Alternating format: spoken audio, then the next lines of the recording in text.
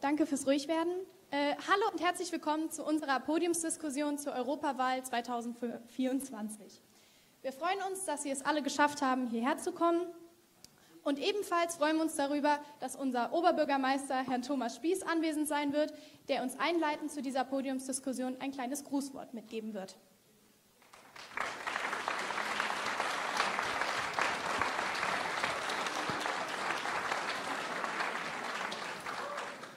Tag.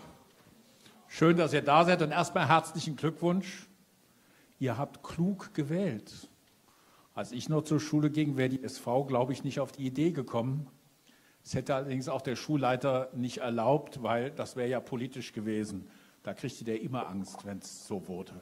Also, dass es das heute gibt, finde ich erstmal eine ganz tolle Sache. Das haben wir hier ich kann mich gar nicht entsinnen, wann es das letzte Mal so eine Veranstaltung von Schülervertretungen gegeben hat.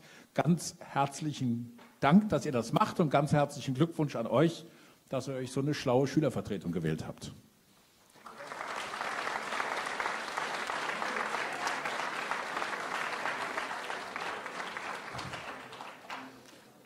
Bisschen interessant finde ich, dass hier geht es zu wie in der Schule. Die vorderen Reihen bleiben alle leer. Hat euch keiner gesagt, dass nachher die aus den letzten Reihen den Fragebogen ausfüllen müssen?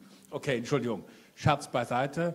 Ähm, dass ihr hier seid, spricht ja schon mal dafür, dass ihr euch für Europa und die Europawahl interessiert.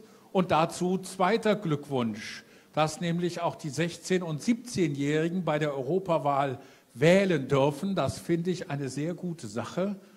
Und persönlich muss ich sagen, ich fände es auch gar nicht so falsch, wenn ihr das auch bei der Bundestagswahl und bei der Landtagswahl und bei der Kommunalwahl machen dürftet, weil das Ergebnis von Wahlen ist ja viel mehr eure Zukunft als meine. Also ihr dürft mit dem Schnitt ungefähr etwas mehr als 40 Jahre jünger sein als ich. Das heißt, ihr müsst 40 Jahre länger aushalten als ich.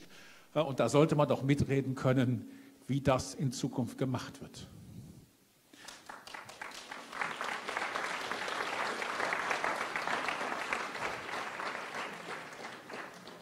Und ein drittes, und dann lasse ich euch auch in Ruhe.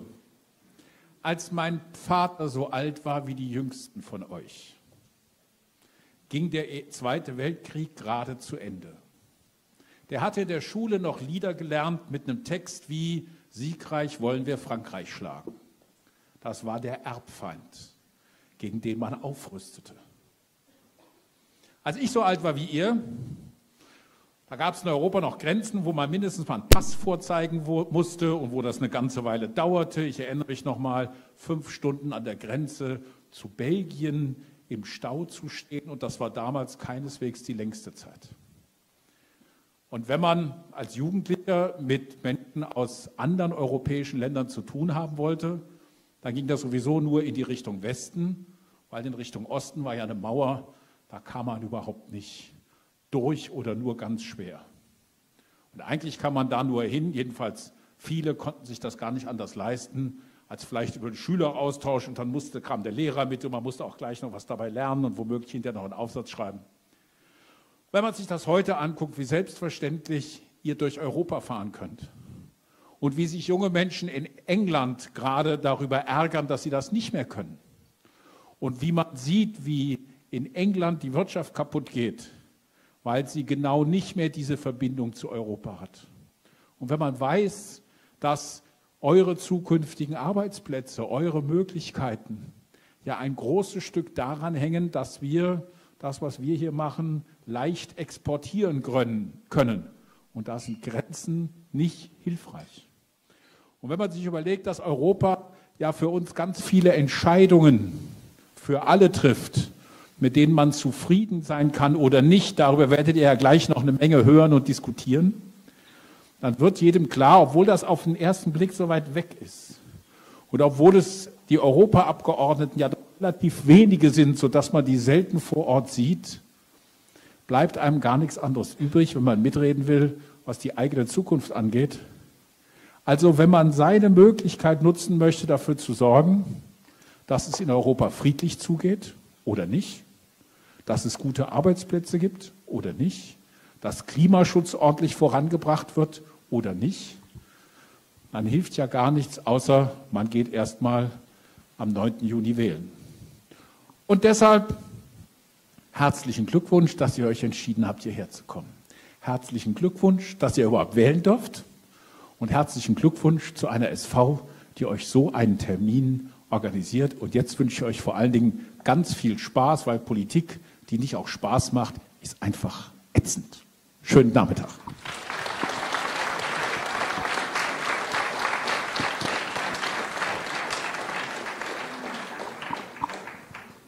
Vielen lieben Dank an die einleitenden Worte vom Oberbürgermeister.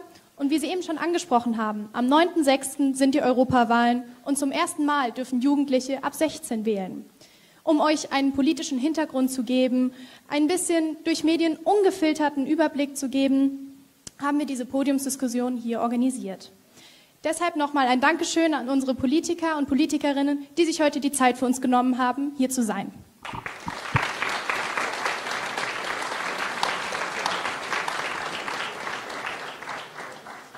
Bei der letzten Bundestagswahl haben nur 70 Prozent der Wählerinnen zwischen 19 und 21 Jahren gewählt. Somit jeder Dritte nicht. Diese Stimme wurde eben nicht genutzt. Eine Stimme für Demokratie und um seine Meinung preiszugeben, um seine Meinung vertreten zu lassen. Das ist eine erschreckende Zahl und wir wollten das ändern und für Demokratie einstehen.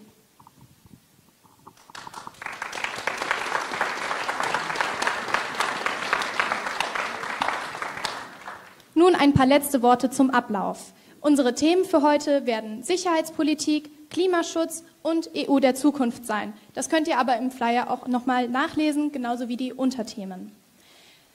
Durch diese kurzfristige Zusage von unserem AfD-Politiker Jan Nolte konnten diese Infos leider nicht mehr über den Flyer übertragen werden. Äh, wir freuen uns trotzdem, dass alle Parteien vertreten sind. Alle Parteien, weil die CDU hat leider die Uhrzeit falsch gepeilt durch unseren Fehler und wird in fünf Minuten hoffentlich da sein. Nun, Ruhe bitte.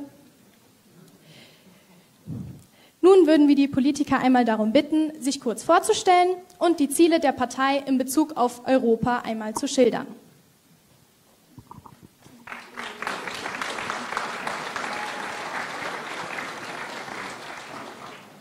Ja, auch ich begrüße alle ganz herzlich. Freut mich, heute hier sein zu können. Jan Nolt ist mein Name. Ich habe auch gestern Abend erst erfahren, dass ich hier heute einspringe. Ich bin tatsächlich auch kein originärer Europapolitiker, sondern bin Bundestagsabgeordneter im Verteidigungsausschuss für die AfD. Es wurde eben schon gesagt, aber da natürlich auch ganz viele Berührungspunkte mit Europa. Für mich ist äh, die europäische Ebene wichtig, auch für die Sicherheitspolitik. Sie wissen sicherlich, dass wir dagegen sind, dass alle Kleinigkeiten unseres Lebens irgendwie aus Brüssel gesteuert werden. Gleichwohl wissen auch wir, dass in dieser multipolaren Weltordnung, die jetzt Einzug hält, dass da einzelne Länder in Europa zu klein und zu schwach sind. Wir brauchen also in bestimmten äh, Bereichen selbstverständlich Zusammenarbeit. Dafür wollen auch wir einen Startbund, der da zusammenarbeitet, wo es eben notwendig ist, aber die freien Vaterländer da ihre eigenen Entscheidungen äh, treffen lässt, wo das eben äh, angezeigt ist, Subsidiaritätsprinzip.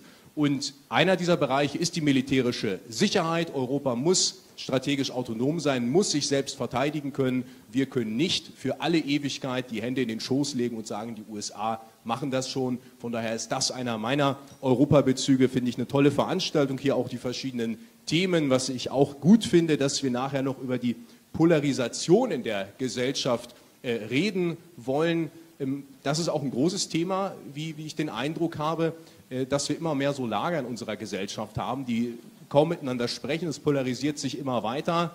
Ähm, die Stimmung heizt sich auf, die Gesellschaft entsolidarisiert sich. Das hat sogar auch was mit Sicherheit zu tun, weil eine Gesellschaft, die sich entsolidarisiert, ist natürlich nicht resilient, kann schwerer zusammenhalten, äh, wenn es gefragt ist. Von daher auch ganz wichtig, dass wir wieder lernen, vernünftig miteinander äh, zu reden. Und da bin ich auch gespannt über die Wortbeiträge nachher zu diesem Thema.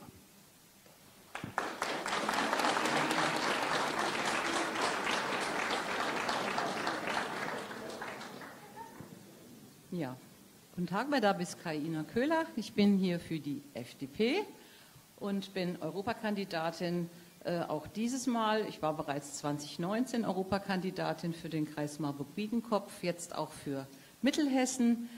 Ja, Europa. Ich bin gleichzeitig auch engagiert äh, für die FDP auf der europäischen Ebene bei der sogenannten Alliance of Liberals and Democrats for Europe, eine Organisation, eine Partei der FDP, die die liberalen und freiheitlichen Grundsätze auf europäischer Ebene versucht durchzusetzen. Und insoweit bin ich schon der Meinung, dass wir ein wunderbares Beispiel an einer großen Gemeinschaft, äh, nämlich der europäischen, haben, für die es sich lohnt einzutreten und für deren Freiheit und Demokratie äh, viele von uns, die dort vor allen Dingen auch bei der ALDO und in unserer Partei äh, arbeiten, äh, wirklich kämpfen. Denn ähm, nichts ist wichtiger, als dass wir in einer großen Nachbarschaft zusammenarbeiten, um die Ziele der Zukunft äh, bewältigen zu können. Für uns steht dabei momentan ganz besonders im Vordergrund zum einen äh, sicherlich die Sicherheitspolitik. Das ist nun Thema, äh, was wir ähm, eigentlich äh, ein bisschen bedauern, dass äh, Sie als junge Leute jetzt damit konfrontiert werden müssen. Wir Erwachsenen, sag ich mal so, es hört sich ein bisschen doof an, aber äh, hätten es natürlich gerne besser hinbekommen, dass wir jetzt in einem friedlichen Europa leben würden. Aber ich glaube, wir müssen einfach versuchen, das äh, jetzt die nächsten, äh, nächste Zeit auch tatsächlich hinzubekommen.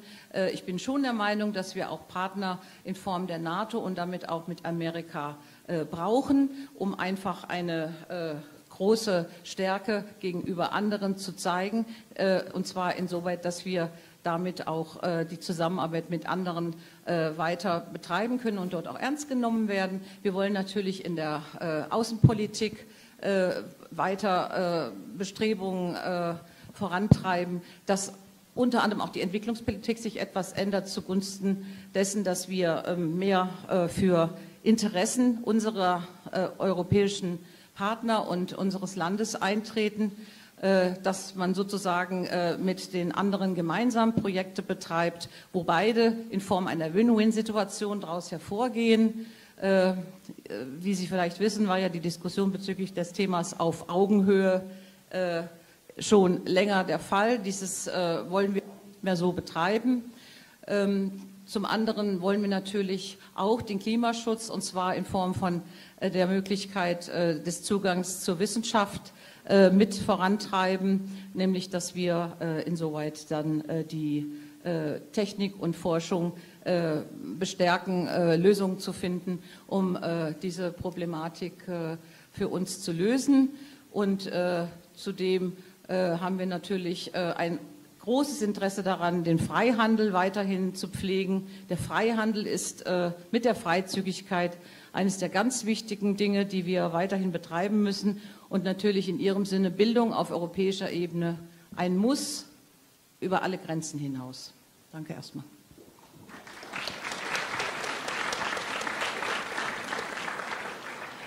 Wir würden noch einmal kurz daran bitten, dass wir ein bisschen mit der Zeit knapp sind und dass Sie sich einfach kurz fassen könnten. Vielen Dank. Einen schönen guten Tag. Ich bin Angela Dorn. Ich komme aus Marburg. Ich bin Landtagsabgeordnete und Vizepräsidentin des Hessischen Landtages. Das heißt, ich leite in Vertretung der Präsidentin auch mal die Sitzungen und sorge dafür Ruhe und Ordnung. Ähm, ich bin europapolitische Sprecherin der Landtagsfraktion. Also auch auf Landesebene braucht man sozusagen eine Zusammenarbeit mit Europa, ähm, weil es ja ganz, ganz viele Bereiche betrifft, äh, die in der Kommune sind, auf Landesebene, auf Bundesebene. Äh, ich war vorher Ministerin für Wissenschaft und Kunst. Die CDU hat sich dann für einen anderen Koalitionspartner entschieden. Jetzt bin ich Abgeordnete. Ich habe drei Töchter, die sind alle jünger als, äh, als Sie es sind in diesem Raum, also können noch nicht wählen bei der Europawahl, aber kommen jetzt auch schon in die Pubertät. Zwei Kater, äh, einen Mann, das bin ich. Wie genau die Reihenfolge wird immer ein bisschen belustigt wahrgenommen. Ich, ich, ich fürchte, die Aufmerksamkeit muss ich dann so ein bisschen besser verteilen. Ähm, warum bin ich gerne hier? Danke für die Veranstaltung. Ich finde es unglaublich wichtig, sich vor der Europawahl tatsächlich zu informieren, welche verschiedenen Parteien es gibt. Europa hat ähm, leider die Schwierigkeit, dass viele Menschen sich nicht so sehr interessieren für dieses Parlament. Und das ist so schade, denn es ist eigentlich eine Riesenerrungenschaft, dass das gelungen ist. Und tatsächlich hat der Oberbürgermeister ja vorhin gesagt, man muss sich überlegen, nach dem Zweiten Weltkrieg, wo Deutschland die Welt überzogen hat mit einem barbarischen Krieg und den schlimmsten Menschheitsverbrechen, die es äh, auf der Welt äh, je gab, dass danach ein solches Projekt gewachsen ist. ein Friedensprojekt. Seitdem gibt es innerhalb von Europa Frieden. Wir haben aber an unseren Außengrenzen, und das spüren wir gerade bei der Ukraine, eben alles andere als Frieden, weil ähm, Russland zu ganz neuen, alten Weltordnungen wieder übergehen möchte. Das heißt, das Europäische Parlament ist ein Riesenwunder. Europa, die Europäische Union ist unser Garant für den Wohlstand. Ich glaube, das wisst ihr aus dem Unterricht, wie wichtig Export für uns, wie Exportwirtschaft für uns ist. Ohne Europa hätten wir, wären wir lange nicht so wohlhabend in Deutschland und wir haben daraus die Garantie für Frieden. Seit vielen, vielen Jahrzehnten. Und jetzt ist Europa wie noch nie gefährdet, gerade durch Russland, aber eben auch durch die Kräfte von innen, durch immer mehr antieuropäische Kräfte. Die AfD, die ja auch hier heute dann äh, Position vertreten wird, ist zum Beispiel für eine Art Dexit, also der Brexit, der in äh, Großbritannien war, den wollen sie gerne für Deutschland. Das wäre unser wirtschaftliches Desaster, wenn das passieren würde. Hat aber Ihre Bundesvorsitzende genauso gesagt. Und Ihre Bundesvorsitzende Ach, hat gesagt, der Brexit wäre ein Vorbild eine für Deutschland. Eine kurze Zwischenbemerkung. Wir sind noch bei den Eingangsstatements. Ja. Die Diskussion kommt später. Wenn Sie sich jetzt gerne. kurz in einem letzten Satz vielleicht noch vorstellen, danach würden wir nämlich gerne weitermachen.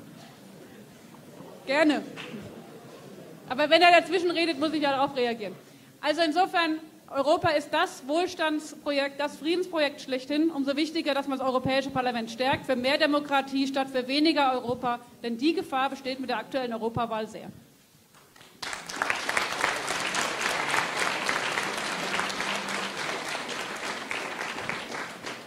Ja, vielen Dank für die Einladung und äh, wunderschönen guten Tag auch von mir. Mein Name ist Sebastian Sack. Ich bin als äh, Politiker tatsächlich niegelnagelneu. Vorher habe ich 16 Jahre als Gymnasiallehrer in Kirchhain gearbeitet. Äh, da komme ich von Hause aus her. Bin hier im Ehrenamt ähm, sehr lange tätig gewesen. Jetzt seit 18. Januar darf dann Angela Dorn bei mir für Ruhe und Ordnung sorgen. Bin ich Landtagsabgeordneter für die SPD. Da bin ich äh, für das Thema Innenpolitik zuständig ähm, und auch natürlich Bildungspolitik und äh, darf die SPD heute hier vertreten.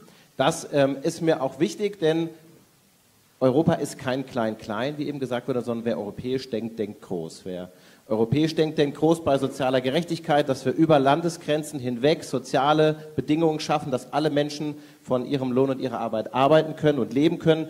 Der denkt groß beim Thema Klimaschutz. Hier schaffen wir gemeinsam eine Zukunftsinnovation. Hier können wir den Klimaschutz nur gemeinsam anpacken. Der denkt auch groß dabei seine Demokratie zu schützen gegen ähm, Feinde von innen und von außen. Wir haben gerade schon die bedrohliche Sicherheitslage angesprochen. An den Grenzen von Europa herrscht ähm, an einigen Stellen Krieg und hier können wir nur gemeinsam zusammenstehen.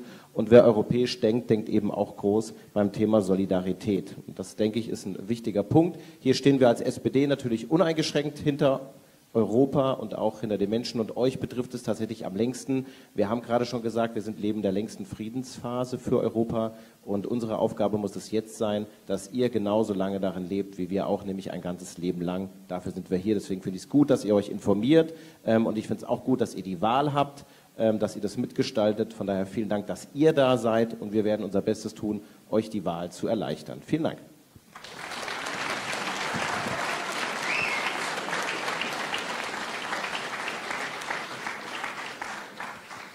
Ja, moin. Äh, ich bin Desiree Becker. Ich bin hier für die Linke. Ich komme ursprünglich aus dem Saarland, äh, auch vom Dorf, weil ich eben gefragt worden bin, äh, lieber Dorf oder Stadt.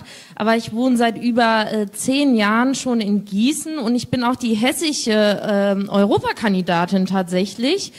Äh, ich bin auf Platz sieben der bundesweiten Europaliste der Linken ähm, und äh, ich freue mich heute hier sein zu können, denn ich arbeite auch hier in Mittelhessen. Ich bin, das nennt sich Gewerkschaftssekretärin bei der Vereinten Dienstleistungsgewerkschaft kurz Verdi.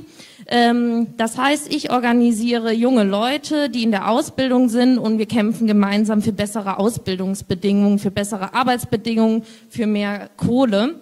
Also das heißt, wenn ihr äh, später hier eine Ausbildung anfangt in der Dienstleistungsbranche, werden wir uns wahrscheinlich wiedersehen. Äh, darauf freue ich mich natürlich auch, aber wir unterstützen natürlich auch Dualstudierende, je nachdem, was ihr nach eurem Abschluss vorhabt. Genau. Ähm, wir äh, sind eine friedenspolitische Partei. Es wurde jetzt ganz oft schon angesprochen, dass ähm, außerhalb äh, Europas Krieg herrscht. Äh, es herrschen tatsächlich mehrere Kriege und das tatsächlich ständig und äh, immer leider. und dem müssen wir natürlich was entgegensetzen. Ähm, wir versuchen für den Frieden zu kämpfen und nicht für den Krieg zu werben. Das heißt, wir lehnen es eigentlich ab, ähm, für Krieg äh, Werbung zu machen und äh, Waffen zu liefern und wir setzen auf diplomatische Wege. Dass das natürlich nicht immer einfach ist, das weiß ich. Aber ähm, wir glauben, jede Waffe, die produziert wird, oder wir wissen, jede Waffe, die produziert wird und verschickt wird, die äh, wird auf Menschen gerichtet, auf junge Menschen, so wie ihr und ich.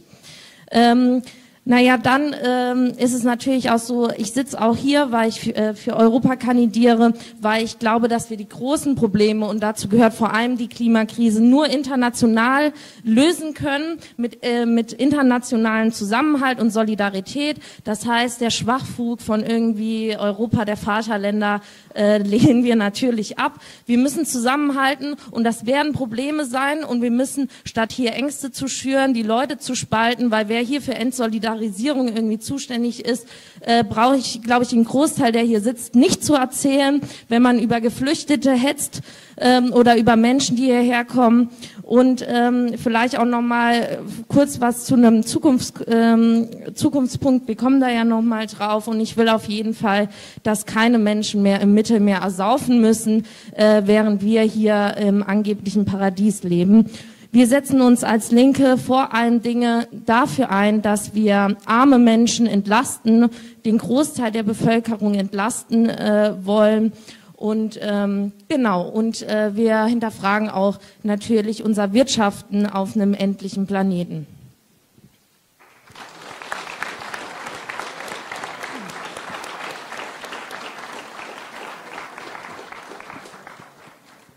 Also Erstmal auch von meiner Seite herzlichen Dank für die Einladung.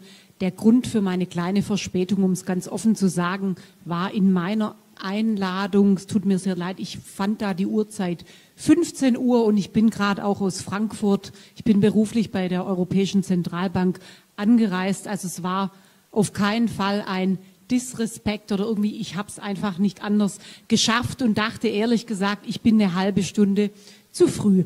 Egal, zurück zum Thema. Wer bin ich? Birgit Weckler, ich sitze hier für die ähm, CDU, bringe auch herzliche Grüße von Sven Simon, unserem Spitzenkandidaten in Hessen, mit, der leider aufgrund eines Brüsseler Termins verhindert ist. Ähm, was ähm, bringt mich zu Europa und was, ähm, für was setzen wir uns als CDU ein? Ähm, wir haben die Situation zur Ukraine, die weltpolitische Lage schon gehört. Es geht uns als allererstes Thema darum, dass wir ähm, innerhalb der EU eine Sicherheits- und Verteidigungsunion schaffen, dass wir uns, dass wir in der Lage sind, der Ukraine oder auch uns selbst, unsere Menschen, uns als Bürger ähm, sicher aufzustellen. Ich glaube, wir haben alle am 22.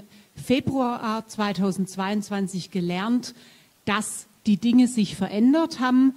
Ähm, es stehen nicht alle Weltnationen für Demokratie und Menschenrechte. Ich sage ganz offen, ich bin 47 Jahre alt, ich habe die Wiedervereinigung gerade so erlebt. Mein Verständnis nach den 90ern war, wir werden uns alle Richtung Demokratie und Menschenrechte entwickeln. Ich erlebe gerade, das sieht ähm, anders aus. Das ist ein Kernthema für uns.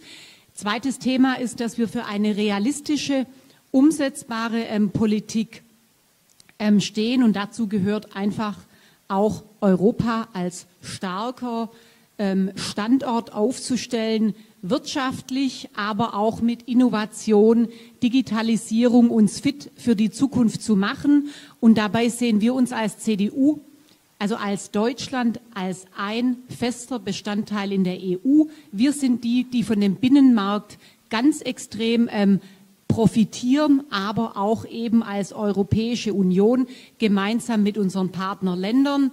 Und damit das noch reibungsloser verläuft, wie vielleicht die ein oder andere Diskussion in Brüssel immer wieder zeigt, setzen wir uns auch dafür ein, dass einige Dinge reformiert werden sollten. Da geht es um statt Einstimmigkeit qualifizierte Mehrheiten. Es geht darum um engere Abstimmung, ähm, ob es Energie, ähm, Bereich. Also es geht um ganz viele Bereiche, auch im Bereich Klimaschutz. Und das bringt mich auch zum dritten Thema. Natürlich liegt uns dran, uns als EU wirtschaftlich stark, aufzustellen mit dem Ziel, die Klimaziele zu erreichen anhand der Parameter, die auch ähm, festgelegt sind.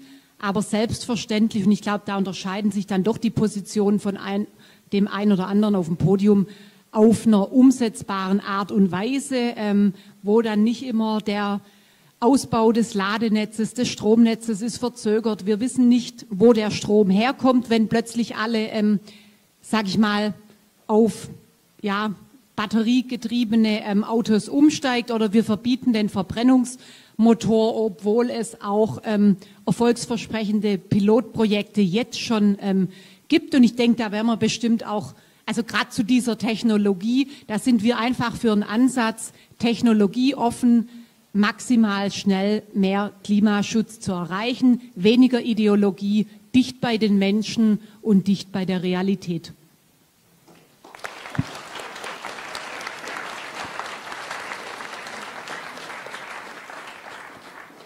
Ja, äh, vielen Dank für die kurze Vorstellung und dann würde ich jetzt auch direkt zu dem ersten Themenbereich überleiten.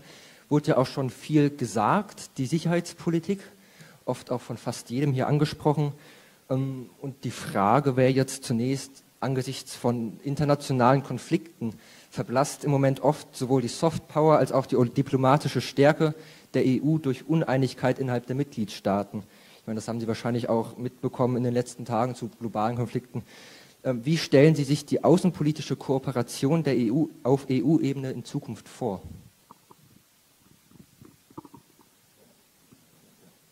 Soll ich gerade anfangen? Äh, ja, ich habe es ja eben schon mal äh, anklingen lassen, dass wir äh, vor allem natürlich auf Diplomatie setzen und ich glaube, wir wissen äh, als Otto Normalverbraucher gar nicht, äh, wie viele Kanäle da eigentlich offen sind. Das ist wohl auch ähm, leider immer auch so ein bisschen ein Geheimnis äh, der Diplomatie.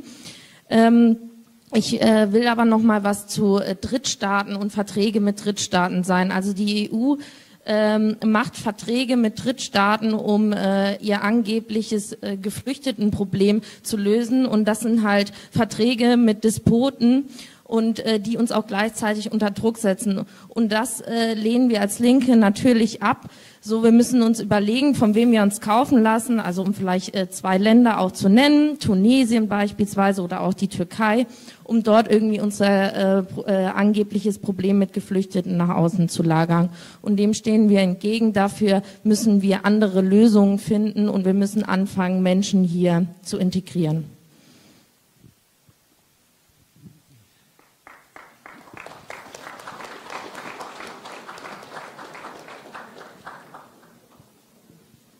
Also wie gerade schon gesagt, wichtig ist, dass Dinge ähm, auch umsetzbar sind. Ähm, und bei Verträgen mit den gerade angesprochenen Staaten, auch in Nordafrika, das hat einfach zum Hintergrund ähm, die große Anzahl an geflüchteten Menschen, die in der EU angekommen sind und völlig klar ist ähm, für mich persönlich, für uns als Partei, dass Menschen mit Menschenwürde und Menschenrechten behandelt werden, ist selbstverständlich. Aber klar ist auch, wenn man vor allem mit Kommunen, mit Landräten ähm, spricht, also mit denen ich schlicht auch einfach persönlich ähm, gesprochen habe, beziehungsweise ab ähm, Juni die stellvertretende Landrätin in der Wetterau ähm, bin, dass es schwierig ist, alle diese hohen Zahlen an Menschen unterzubringen. Und das ist der Hintergrund, dass man einfach ähm, versucht, dass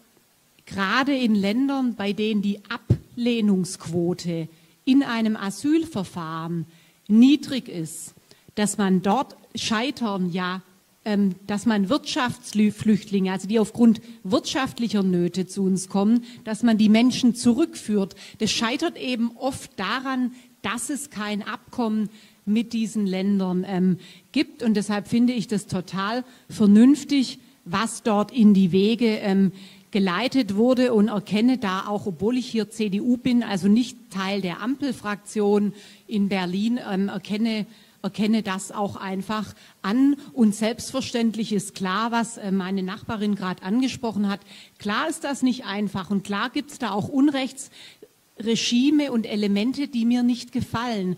Aber um das mal auch hier deutlich zu sagen, es steht hier mit dem Migrationsthema nicht weniger ähm, zu, also in Frage, wie wir in Zukunft unsere Demokratie gestalten wollen.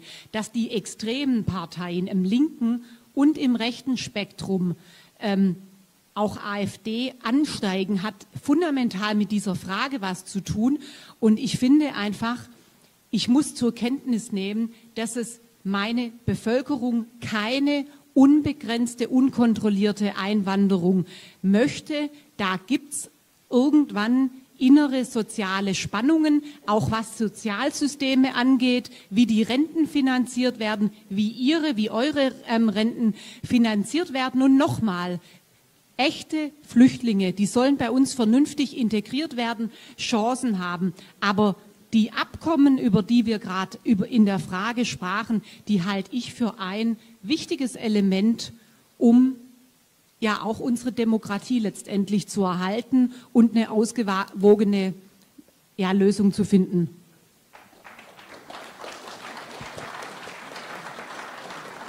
Ähm, kann ich ganz kurz drei Punkte. Also ein Asylrecht ist ein Individualrecht. Also das heißt, jeder Mensch hat ein eigenes Recht, Asyl zu beantragen. Und man kann nicht einfach sagen, zum Beispiel, wenn man schwul ist und man wird verfolgt in einem Land, ähm, nur weil ich aus dem Land komme, werde ich an der Grenze einfach abgeschoben. Und dann auch nochmal Drittstaaten sind keine Herkunftsländer. Es gibt keine Verträge mit Afghanistan oder sonst was. Das heißt, Leute, die hierher kommen, werden einfach in irgendeinen Staat zurückgeschoben, wie beispielsweise Tunesien oder in die Türkei, die im Übrigen äh, sehr viel Druck auch auf die EU ausüben. Und ähm, weil wie kann man als Politikerin sagen, ja, hm, das sind dann halt Länder, wo mal ein bisschen Menschenrechte äh, nicht so beachtet werden, wenn man selbst hier sitzt. Und eben haben Sie das in Ihrem Eingangsstatement gesagt, Sie finden Europa so toll wegen dem Einhalten der Menschenrechte und wegen der Demokratie. Und dann finde ich es wirklich unaufhörlich, dass man sowas auf einem Podium sagt. So.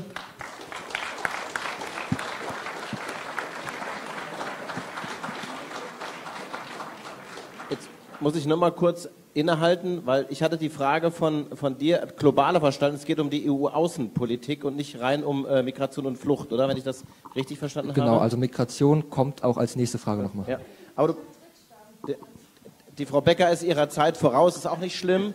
Ähm, dann mache ich noch mal einen kurzen Rückschritt. Ähm, ich glaube, dass die EU-Außenpolitik ähm, besonders stark ist, wenn sie mit einer Stimme spricht. Und ähm, so vielfältig wie Europa ist, zeigen aber die Krisen der Zeit auch, dass wir die Krisen nur gemeinsam angehen können, egal ob das die Pandemie war oder auch die Krisen, die wir gerade haben. Das heißt, wir brauchen eine, einen gemeinsamen Kompass, was die Entwicklungspolitik anbelangt. Denn wenn wir über Migration reden, dann ist natürlich die Fluchtursachen müssen wir auch da angehen, wo die Menschen flüchten. Und da haben wir als Europa auch in den vergangenen Jahrhunderten, Stichwort Kolonialismus etc., durchaus ordentlich im wahrsten Sinne des Wortes Erde verbrannt. Ähm, und da haben wir eine Verantwortung und die müssen wir gemeinsam angehen, nach meinem Dafürhalten. Wir brauchen aber auch eine ganz klare gemeinsame Sicherheitspolitik. Und wenn wir uns auf die Kriege gerade fokussieren, die gerade laufen, dann muss man auch sagen, wir werden auch darüber nachdenken müssen. Ähm, ich weiß, dass das nicht jeder unterstützt oder jede, aber wir werden auch darüber reden müssen, ob wir eine gemeinsame europäische Armee brauchen, die uns schützt. Ich bin auch immer für den diplomatischen Weg. Ich selber war nicht bei der Bundeswehr, ich war im Katastrophenschutz sieben Jahre lang, würde ich auch wieder so machen.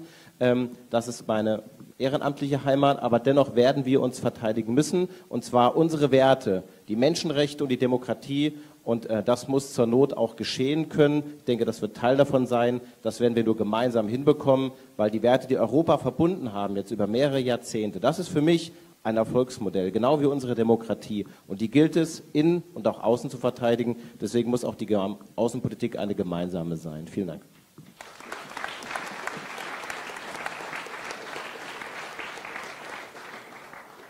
Ja, ich wollte äh, diesbezüglich noch ergänzen. Natürlich äh, muss man hier auch sehen, dass die Sicherheitslage weltweit sich einfach auch so verändert hat, äh, dass wir uns äh, schlichtweg auch neu aufstellen müssen.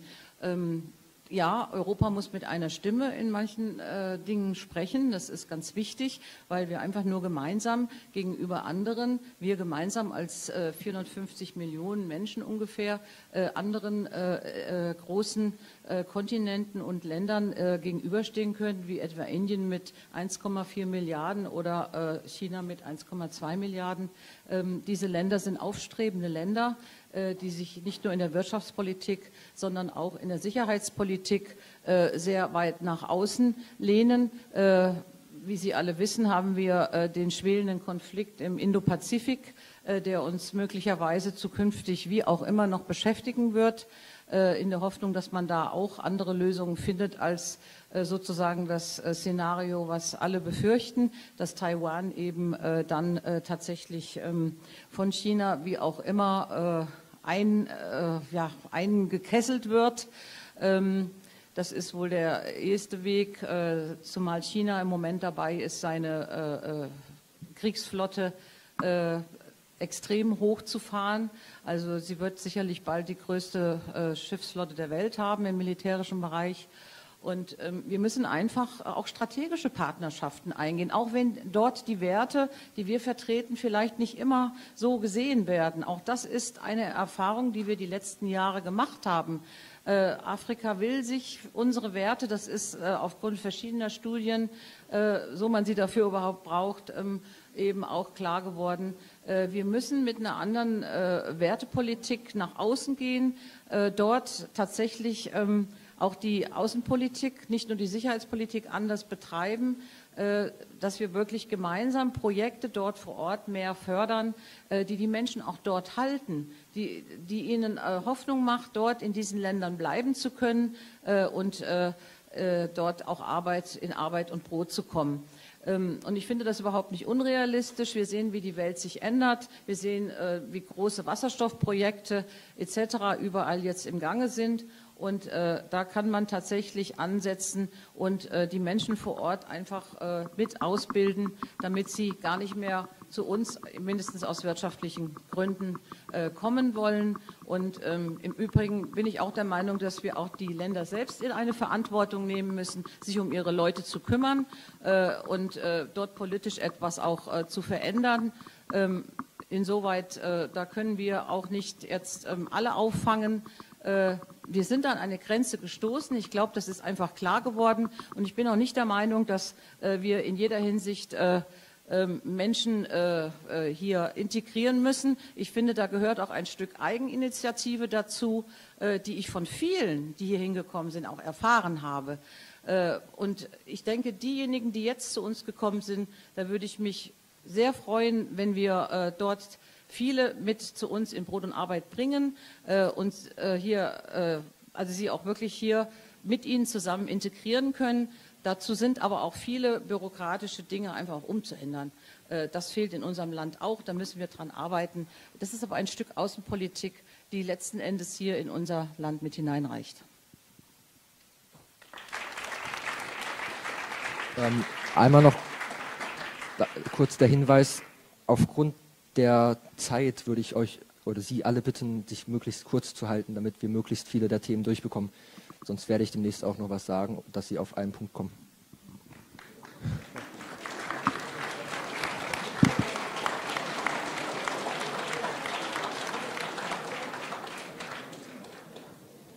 Gut, dann will ich mich beeilen. Ist ja auch schon viel Richtiges gesagt worden. Also um geopolitisch überhaupt mit den großen Playern, es ist schon angesprochen worden, USA, China, irgendwie mithalten zu können, irgendwie annähernd ein Gegengewicht bilden zu können, brauchen wir natürlich eine möglichst einheitliche Stimme der europäischen Staaten, wo ich nicht dafür wäre, auch das könnte man sich ja vorstellen, dass ein Beschluss gefasst wird und dann ist, das ist dann die verordnete außenpolitische Richtung zu irgendeinem äh, Thema. Also äh, das muss dann schon in der Souveränität der Nationalstaaten äh, bleiben, aber abstimmen muss man sich natürlich, das ist ganz klar.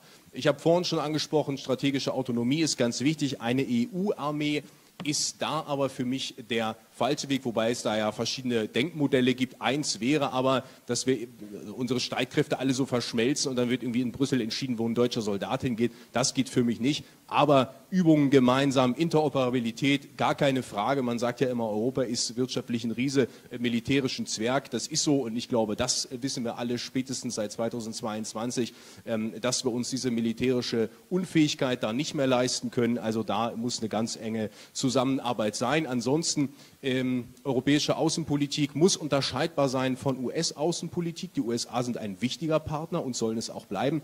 Aber die Interessen der USA sind natürlich nicht deckungsgleich mit denen der europäischen Staaten. Nehmen wir die Machtprojektion bis in den Indo-Pazifik hinein, äh, diese, diese starke Konfrontation mit China. Äh, die USA wollen natürlich global der Hegemon bleiben. Das ist nicht, nicht unser europäisches Interesse. Auch wir dürfen nicht naiv sein im Umgang mit China, überhaupt keine Frage. Aber wir haben eben doch hier und da andere Interessen und das muss in Zukunft auch stärker spürbar sein.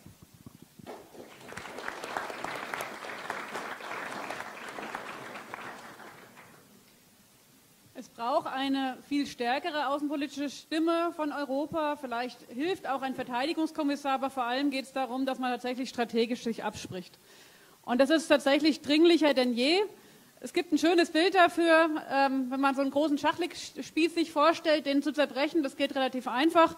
Wenn man sich mal so ein Bündel vorstellt und den zerbrechen soll, dann wird es relativ schwer. Wenn wir uns anschauen, dass wir es mit großen Mächten zu tun haben wie China, wie Russland, dann ist ein einzelner Staat wie Frankreich oder Deutschland eben lang nicht so relevant wie eine Europäische Union. Deswegen ist es so elementar, dass wir besser zusammenarbeiten und wir sind herausgefordert wie nie. Ich finde es ganz interessant, dass der AfD-Abgeordnete zwar über die Frage spricht, wie wir strategisch zusammenarbeiten können, aber zu dem wichtigsten Thema, der Ukraine haben Sie äh, gerade nichts gesagt, weil an dieser Stelle, ja, war nicht die Frage vollkommen richtig, nur an dieser Stelle wird es natürlich dann ganz besonders entscheidend sein, wie wir uns abstimmen, weil das ist im Moment die große strategische Abstimmungsfrage. Wir haben es zu tun mit einem Angriff von Russland auf die Ukraine. Und die Ukraine ist nicht irgendein Pufferstaat, den man mal überrennen kann, ähm, sondern es ist ein, ein, ein, nicht zwar kein Land der Europäischen Union, aber von unserem europäischen Kontinent, eins relativ nahes, äh, nicht direktes Nachbarland, aber dann doch eben anschließend, das ähm, von Russland völkerrechtswidrig angegriffen wurde. Und es sind jeden Tag schrecklichste Opfer zu vermelden. Tote Menschen, vergewaltigte Frauen. Und dass die AfD in dieser Position der Meinung ist, dass es falsch ist, eine militärische Unterstützung für die Ukraine zu geben, dass sie auf äh, auf welche Verhandlung auch immer setzen mit jemandem wie Putin und es sogar mittlerweile auf europäischer Ebene nachgewiesenermaßen, das sind die neuesten Nachrichten vom tschechischen Geheimdienst, Abgeordnete bezahlt werden von Russland für ihre Interessen. Das ist kein Patriotismus, was die AfD da macht. Das ist wirklich ein, ein schlimmstes Netzwerk mit einem derartigen Angreifer für, am Ende für unsere ganze Europäische Union. Und deswegen ist es so wichtig, in Europa sich wirklich zusammenzuschließen für Frieden und Freiheit. Und das bedeutet im Moment tatsächlich, die Ukraine mit allem zu unterstützen, für die Ukraine, aber auch für unsere eigene Sicherheit.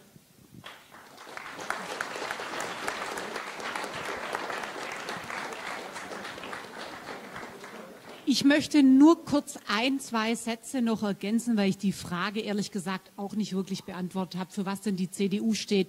Da kann ich mich fast in der Richtung an ähm, Grün, ähm, SPD und FDP anschließen. Es geht darum, dass wir mit einer Stimme sprechen. Deutschland alleine mit 85 Millionen Einwohnern ist zu klein. Die EU mit ihren knapp 500 Millionen ist aus ganz vielen Gründen die richtige Größe. Und ich glaube, wir brauchen das gerade bei der Außen- und der Sicherheitspolitik, um ernst genommen zu werden, um eigenständig, autonom uns hier auf dem Kontinent gegenüber, also vor allem Russland, China, aber auch im Verhältnis zu, China, äh, zu den USA zu positionieren.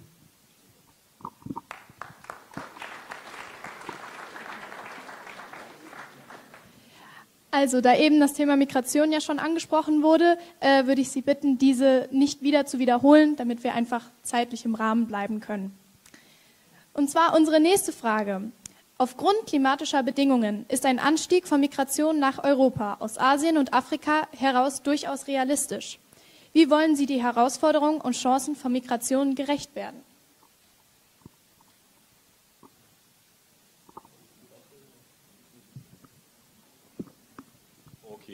Denn äh, hoffe ich, es wird mir verziehen, aber ich muss jetzt mal, weil äh, die Frau Dorn immer so viel über uns spricht, äh, ich rede auch gleich noch über Migration, ich mache es auch ganz kurz. Ähm, genau, also zuerst mal, ähm, ich habe Verständnis dafür, Sie haben sicherlich viel zu tun als Landtagsvizepräsident, ko konnten sich vielleicht nicht so vorbereiten, aber in unserem ähm, Wahlprogramm, im Europawahlprogramm steht also nichts vom Dexit drin, sondern wir wollen einen europäischen Staatenbund. Dann Waffenlieferungen, da können wir ja mal den Mitschnitt nehmen, äh, wo über die Taurus gesprochen wurde. Ja? Ähm, da reden die Offiziere von 100 Taurus, die geliefert werden sollen. 100! Und sagen trotzdem, das ändert am Krieg nichts. Ja? Was Sie, und dann stehen wir nach den 100 Taurus wieder da, wo wir jetzt stehen und fragen uns, wie kommen wir jetzt zu einer Lösung? Und das wären am Ende Verhandlungen. Was Sie, also ich möchte, dass wir jetzt verhandeln und Sie möchten, dass wir ein paar tausend Tote noch abwarten und dann verhandeln. Und dann reden wir mal über, den, über diese Geheimdienstgeschichte. Da können Sie auch die Medien mal konsultieren. Da hat doch der, aus Tschechien wurde doch längst ganz Einmal klar gemacht, dass der Name des AfDlers überhaupt Satz. nie äh, genannt wurde. Und also nicht mit Kommata, diese, sondern mit Punkt. Nee, ist so, da können wir über Amigo-Systeme von äh, Robert Habeck mal sprechen im Wirtschaftsministerium. Also ich glaube, da kommen Sie schlechter weg äh, als wir, wenn wir hier mit solchen Themen aufschlagen. Ähm, ich, ich muss zur jetzt, Frage, okay, aber kurz. Aber ich muss auch schon erwidern. Ne? okay. So, äh, Migration, es ist vorhin schon angesprochen worden. Ähm, Asylverfahren in Drittstaaten äh, sind eine gute Sache. Wir müssen natürlich dann dafür sorgen, dass es dort menschenrechtskonform zugeht, gar keine Frage. Dafür kann auch Geld in die Hand genommen werden. Aber so wie es momentan läuft, haben wir die Situation nicht im Griff. Wer einmal nach Deutschland kommt, der kann im Grunde auch für immer hier bleiben. Wir haben einen völlig, ähm, äh, eine völlig chaotische Situation. Äh, der Mann, der dieses vierjährige Mädchen angegriffen hat mit einem Messer, war holländischer Staatsbürger, bekommt hier Asyl im Asylheim. Habe ich was nicht mitbekommen in den Niederlanden? Ist da Krieg? Es ist, ist also völlig eine chaotische Situation. Das ist ja nur eine, eine, ein ganz kleiner Ausschnitt jetzt, der aber beispielhaft dafür steht, was hier wirklich los ist. Ähm, wir müssen diese Verfahren außerhalb Deutschlands durchführen, menschenrechtskonform. Den Menschen muss es dort gut gehen, aber so wie es bisher läuft, kann es nicht weitergehen. So, dann werde ich mal direkt auf die Frage antworten.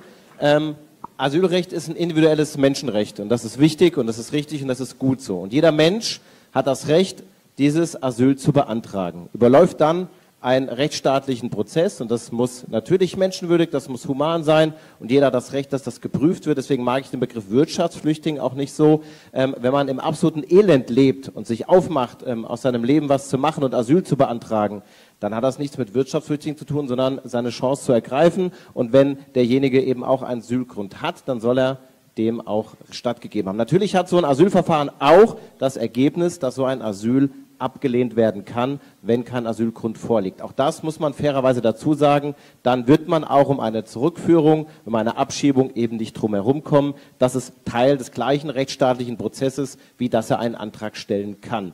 Nichtsdestotrotz brauchen wir die Einwanderung, das ist vollkommen klar. Ich will auch nochmal für die Fachkräfteeinwanderung werben, die die Regierung beschlossen hat, weil wir werden Fachkräfte brauchen. Und hier gibt es die Möglichkeit, auch einen Spurwechsel vorzunehmen und eben auch zu schauen, wo kann und wo will ich mich ausbilden lassen, wo bin ich auch schon gut ausgebildet und kann in diesem Land mitarbeiten. Und dann hat jeder das Recht, dass das geprüft wird und er hier eben auch seine Zukunft mitbestreiten kann. Wir müssen dort natürlich regulieren. Das ist Teil auch des rechtsstaatlichen Prozesses. Deswegen werden wir auch über Abschiebungen reden müssen. Das ist äh, die andere Seite einer gleichen Medaille. Ähm, dafür stehen wir. Das Ganze muss menschenwürdig sein und bleiben. Und jeder hat das Recht, Asyl zu stellen.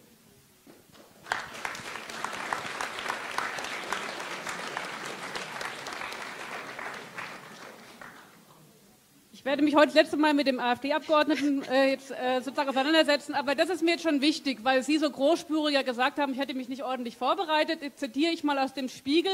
Das ist relativ frisch, 22.01.2024. Weidel, das ist Ihre Bundesvorsitzende, sieht Referendum über EU-Austritt als Option für Deutschland. Das ist die Überschrift. Sie hat das Brexit-Votum als Vorbild für Deutschland bezeichnet.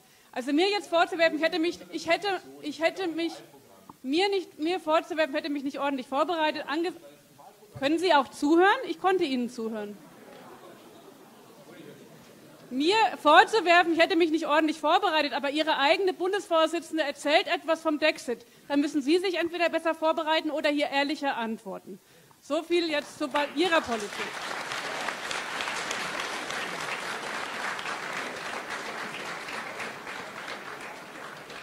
Und jetzt würde ich tatsächlich gerne auch über die Frage, die Sie eigentlich gestellt haben zu dem Asylverfahren, etwas gerne sagen.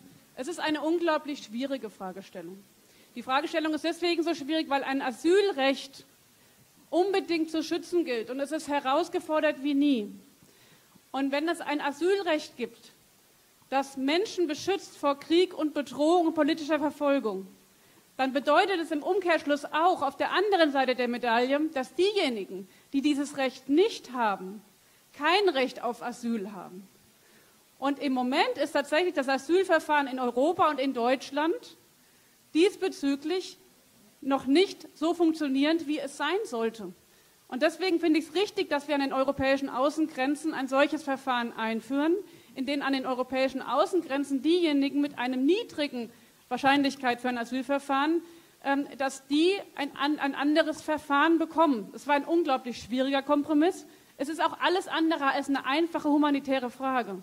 Und deswegen ist es so wichtig, dass auf Bundesregierungsebene nicht nur die Frage dieses GEAS-Reform, dieser europäischen Asylreform besprochen wird, sondern auch, dass wir über eine qualifizierte Einwanderung reden. Und da hat die Ampelregierung eine ganze Menge vorangebracht, dass tatsächlich die Menschen, die hier äh, für ihre Familie für ein besseres Leben sorgen wollen, die hier arbeiten wollen. Wir brauchen Fachkräfte, dass die eine andere Möglichkeit haben. Wir brauchen Ordnung in dem System. Das ist ganz wichtig. Dafür gibt es keine einfachen Antworten und das ist etwas, was uns auch von der Linken unterscheidet. Ich verstehe alle schmerzhaften Prozesse und ich weiß, dass die äh, Vertreterin hier tatsächlich auch tiefe Erfahrung hat, weil sie selber auch äh, in der Seenotrettung ja auch aktiv war. Das hat sie mal woanders auch entsprechend beschrieben. Ich verstehe, dass es ein humanitäres Thema ist. Aber wir müssen auch sehen, dass wir am Ende ein Verfahren brauchen, was insgesamt funktioniert, weil die größte Risiko, was ich sehe, ist, dass am Ende das Asylrecht sukzessive ausgehöhlt wird, wie wir es in anderen Staaten erfahren. Deswegen spreche ich tatsächlich für ein sehr geordnetes System, aber allen humanitären Möglichkeiten, wie Rechtsberatung für Geflüchtete, alle Möglichkeiten, dass tatsächlich diese Menschen geschützt werden, dass die Seenotrettung ausgebaut wird, all das ist wichtig. Aber es braucht auch ein geordnetes System, denn zu sagen, alle können einfach irgendwie kommen, das ist kein geordnetes System, das wird am Ende das Asylrecht aushöhlen und wird nicht das erreichen, was sie eigentlich wollen. Genau, also vielleicht nochmal, wir äh, lehnen tatsächlich eine europäische Armee ab. Äh, es gibt bereits äh, ein Bündnis, die NATO.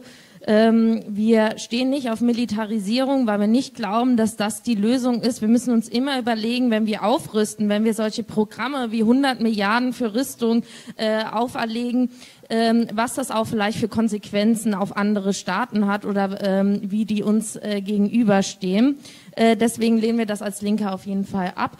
Und ich muss jetzt auch mal äh, Frau Dorn nochmal, mich nervt ein bisschen, dass wir anscheinend auf jedem Podium der AfD ihr Wahlprogramm erklären müssen. Äh, das hatten wir nämlich beim letzten Podium auch schon mal, dass wir aus dem äh, Wahlprogramm, glaube ich, vorlesen mussten sogar. Ähm, sie lehnen die Europäische Union, wie sie ist, ab und dazu sollten sie auch stehen und ähm, es nervt auf jeden Fall. Ähm, und natürlich Militarisierung ähm, kann zu Kriegen führen und der Hauptgrund äh, für Flucht sind Kriege. Die meisten Leute, Geflüchtete, sind aus der Ukraine, äh, aus, ähm, äh, im Moment aus der Ukraine, aus, aber auch aus Afghanistan. Das sind alles Länder, in denen Kriege geherrscht haben. Das kann man auch nachgucken. Und dann auch muss ich dem äh, Vorredner von der SPD auch ähm, äh, nochmal so ein bisschen ähm, äh, wieder, äh, widersprechen. Man kann nicht einfach nach Afghanistan abschieben. Das geht nicht. Das ist auch nicht erlaubt. Also deswegen, wenn ihr euch mal wirklich Zahlen, ich will euch nicht mit Zahlen nerven, ich würde es gerne äh, anguckt, wohin abgeschoben wird, dann äh, ist das nicht in die Länder, wo irgendwie Rechtsradikale das gerne hätten oder ähm, genau, wo da gerade irgendwie äh, Stimmung gemacht wird. Und äh, die Genfer Flüchtlingskonvention gibt ja genau an, äh, die ist ja entstanden ähm, nach 45 und gibt eigentlich an, ähm, welch, wann man Asyl bei uns bekommt. Äh, wir stehen dafür, dass man auch äh, natürlich die Klimaschäd also die Klimaflucht damit reinpackt, weil wir sind natürlich auch verantwortlich. Da wären wir wieder bei dem Punkt, was von der SPD angesprochen worden ist. Wir sind verantwortlich. Wir äh, sind mit äh, der meisten CO2-Produzenten. Wir haben das mit zu verantworten und wir müssen unserer Verantwortung gerecht werden. Das geht nicht in der Festung Europa. Und dann will ich noch mal kurz was zur qualifizierten, äh, qualifizierten Einwanderung sagen, weil ich kenne das ja aus meinem Job, die qualifizierte Einwanderung, also so Anwerbeabkommen. Äh, und auch meine Freundin, die ist ähm, Immigrationsjuristin, die würde jetzt wahrscheinlich auch zusammenzucken. ähm, so, das ist gar nicht so einfach, durch Arbeit äh, hier in die EU zu kommen und dann auch wirklich hier zu bleiben. Und was soll das denn, dass wir qualifizieren, warum qualifizieren wir die Leute nicht hier? Warum bilden wir nicht aus? Warum, also die Ausbildungsstellen sind so äh, gesunken, warum fangen wir nicht an, die Leute, die schon hier sind, in Jobs zu bringen, Sprachkurse anzubieten? Und ja, Eigeninitiative, liebe FDP, so einfach ist es aber manchmal leider nicht. Und das kenne ich aus äh, Geflüchtetenbetreuungen, äh, Deutschkurs für Geflüchtete zu finden. Und ich finde diese Angstmache, wir werden nicht überrannt. Wir werden das alles schaffen. Wir haben, wir sind eines der reichesten Länder der Welt, Deutschland. Die EU ist so reich. So, wir können es schaffen, dass die Leute hier ein gutes Leben haben und die Leute, die sich entscheiden, auf wel, aus welchen Gründen auch immer, äh, aus Flucht, Verfolgung oder Klimakrise hierher kommen, ein gutes Leben äh, zu geben. Wenn wir endlich unsere Politik ändern, wenn wir auf soziale Belange setzen, nicht unsere Sozialhaushalte kürzen. Und hier sitzen Parteien, die sind in Regierungsposition. Also, die könnten Sachen an, ändern und sie tun es nicht. Und äh, das ärgert mich ganz schön tatsächlich. Frau Becker.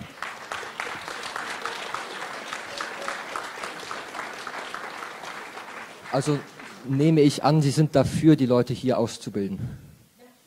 Das hätte ein Jahr hätte mir gereicht, Dankeschön. Ähm, so, gibt es noch.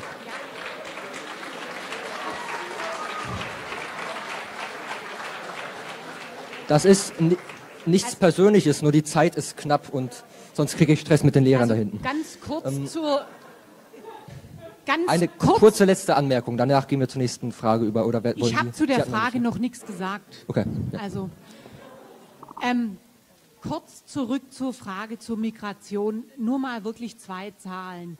Im Jahr 2023 gab es in der EU, also EU-weit, 1,4 Millionen Asylanträge. Davon wurden 334.000, das ist knapp ein Drittel, in Deutschland gestellt.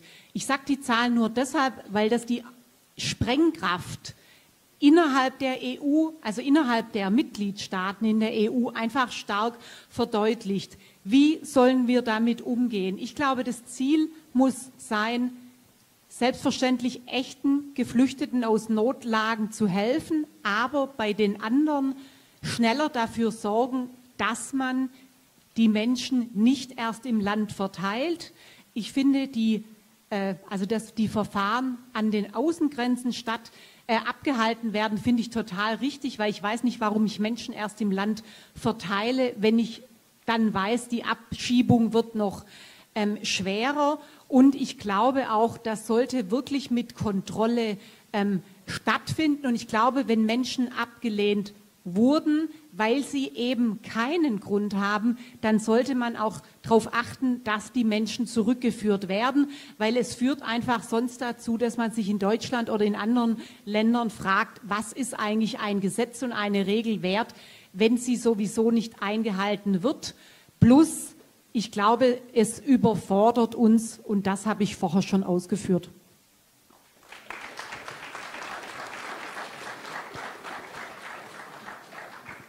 Ich denke, die Position der FDP ist ja klar, dass wir äh, auch sehr dafür sind, dass äh, diese Dinge an den Außengrenzen der EU dringlich stattfinden müssen. Es, es, muss dringlichst eine Lösung gefunden werden. Ihre Frage vorhin ist ja bisher noch nicht angesprochen worden bezüglich der großen Klimakatastrophen, die wir erwarten in vielen Ländern. Und ich glaube, das ist auch etwas, was wir im Blick haben müssen. Äh, Stichwort auch Nachhaltigkeit. Wir müssten auf diese Länder jetzt schon zugehen, dass wir auch gemeinsam Lösungen dafür finden, wenn das Wasser überall fehlt, äh, wenn es äh, alle möglichen Naturkatastrophen geben wird, die wir heute noch gar nicht kennen, durch Schneeschmelze etc. Wir haben jetzt ein Beispiel unerwarteterweise schon in Russland.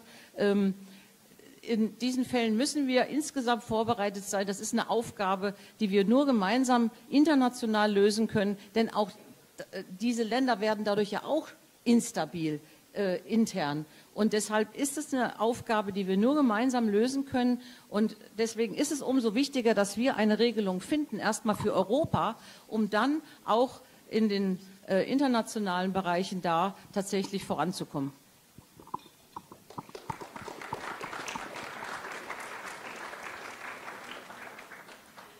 Also ein wenig jetzt aus Zeitgründen müssen wir uns jetzt leider bei dem Klimaschutz ein bisschen beschränken. Ähm, Aber das Thema ist ja auch ein wenig mit der Sicherheitspolitik vereinbar. Ähm, und zwar, in den heutigen Medien werden Auswirkungen der Klimakrise immer mehr in den Vordergrund gerückt. Erneuerbare Energien scheinen die Lösung dafür zu sein. In Anbetracht der hohen Investitionen Chinas und Amerikas, wie im aktuellen Fünfjahresplan und im Inflations Reduction Act festgehalten, welche Pläne verfolgt Ihre Partei, um diesbezüglich mitzuhalten?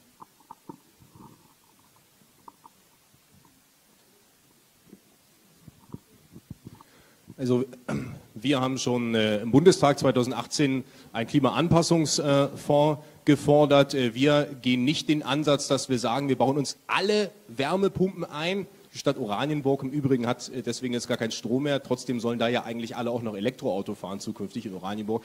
Ähm, und dann versuchen wir irgendwie das Klima zu beeinflussen. China, ja, mag in Erneuerbare investieren, aber ballert so viel CO2 raus, das aufzuholen ist völlig illusorisch und der Preis, den wir dafür zahlen, ist einfach gigantisch, sowohl im persönlichen Bereich, wo die Leute die Wärmepumpe nicht bezahlen können, als auch was wir hier äh, unserer Industrie antun wir sagen, wir müssen das machen, was wir tun können. Und das ist uns auf die Klimaveränderung vorzubereiten. Da müssen wir die Deiche anders bauen. Eben wurden Schneeschmelzen angesprochen. Brauchen wir vielleicht in, in 50 oder 70 Jahren andere Gehölzarten, die wir anfangen? Ich, ich weiß es nicht. Das, ist, sind so viele Bereiche, wo die jeweiligen Fachleute konsultiert werden müssen. Das ist doch was, das liegt in unserer Macht. Und das ist der Weg, äh, den wir dabei ähm, gehen wollen. Was unser Programm angeht, ich könnte ja ewig äh, mit Frau Dorn darüber reden. Das macht wirklich Spaß. Aber googeln Sie es selber, empfehle ich Ihnen. Ähm, da brauchen Sie weder mir zuhören noch von Frau, äh, Frau Dorn, da können Sie sich selber ein Bild machen, googeln unser Wahlprogramm, auch was Frau Weidel zum Dechsel sagt, einfach selber nachgucken ähm, und dann können Sie sich ein Bild machen.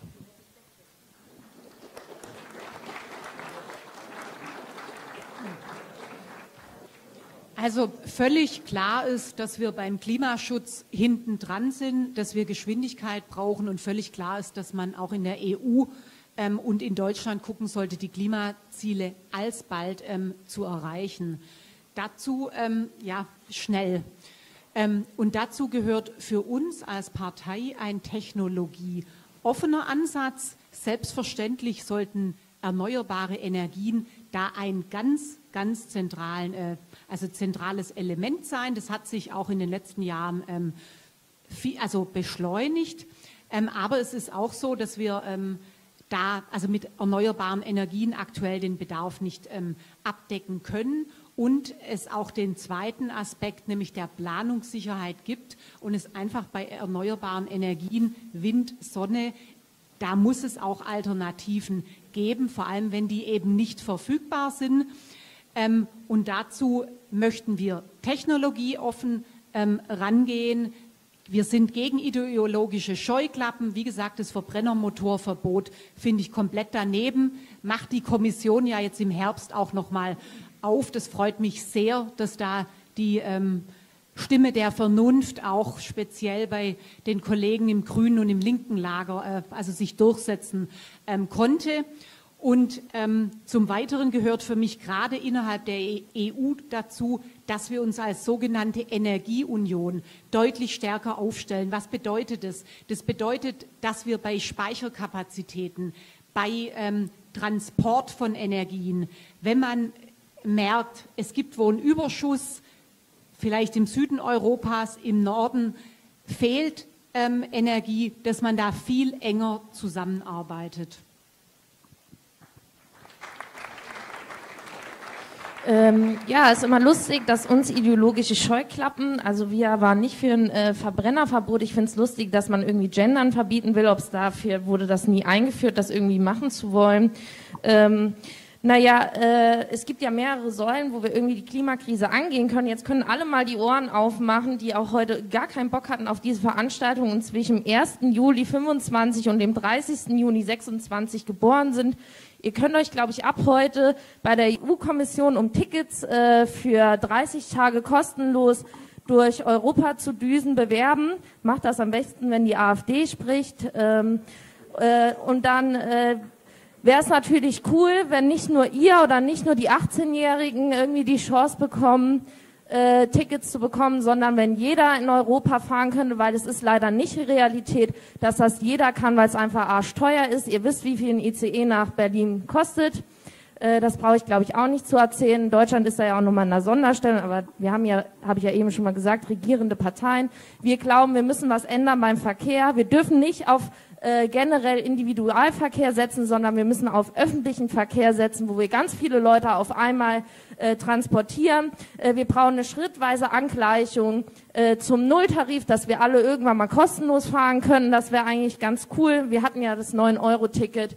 Und ähm, natürlich auch bei Energie. Wir brauchen Umbau zu äh, Solar, äh, Windrädern. Das macht uns auch unabhängiger von anderen Ländern. Das brauche ich euch, glaube ich, auch nicht zu erzählen. Wir hätten das gerne öffentlich, vielleicht auch genossenschaftlich organisiert. Das bedeutet, dass die Leute, die im Dorf ein Windrad bekommen, auch daran äh, profitieren können, indem sie selbst den das Windrad selbst äh, gehört und wir brauchen, ich habe es am Anfang gesagt, eine Überlegung. Wir können noch so viele coole Green Deals in der EU abschließen, wie es die CDU so schön feiert, äh, wenn wir nicht anfangen, endlich anders zu wirtschaften und darüber nachzudenken, ob man jetzt wirklich die Bananenbrotdose braucht oder nicht. Wir müssen auch was an unserem Wirtschaftssystem ändern.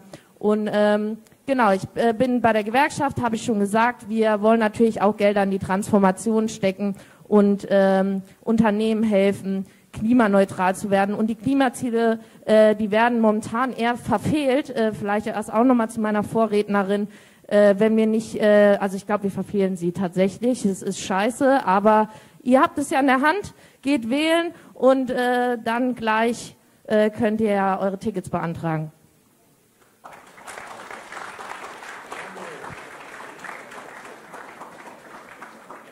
Ja, da kann ich nur sagen, äh, gut, dass es die Wirtschaft gibt, dass diese Träume hier alle verwirklicht werden können, äh, dann wohl auf. Ähm, nichtsdestotrotz, äh, was für uns wirklich ein ganz wichtiger Aspekt ist, dass die äh, Technologie, die hier sogar jetzt sehr einseitig staatlich nur mit gefördert wird, immer wieder offen bleibt, äh, dass wir tatsächlich auf europäischer Ebene viel mehr Projekte starten sollten, um hier in die äh, Zukunftstechnologie zu investieren. Das ist ein Markt, da können Arbeitsplätze entstehen. Wir brauchen nämlich Arbeitsplätze, um solche Fantasien äh, tatsächlich auch finanzieren zu können. Äh, insoweit, ähm, ich bin aus dem äh, Forschungsbereich und ich kann wirklich nur sagen, ähm, ich würde mich freuen, wenn in dem Bereich noch wesentlich mehr auch auf europäischer Ebene äh, passieren würde. Da würde ich mich auch immer für einsetzen, denn ähm, nur äh, gute Ideen, die zum Beispiel, was vorhin die Kollegin auch sagte, äh, die Speicherkapazitäten äh, ermöglichen äh, in beide Richtungen, sowohl in CO2-Richtung als auch in Form von Energiespeichern. Die können uns in Zukunft helfen, eben dann auch die Knappheiten zu überwinden, die wir eben auch überwinden müssen, einfach für eine gute und auch ähm, eine Industrie, die uns tatsächlich auch weiterbringt, die Arbeitsplätze schafft und der, wie gesagt, auch äh, bestimmte Fantasien dann auch befriedigen kann. Danke.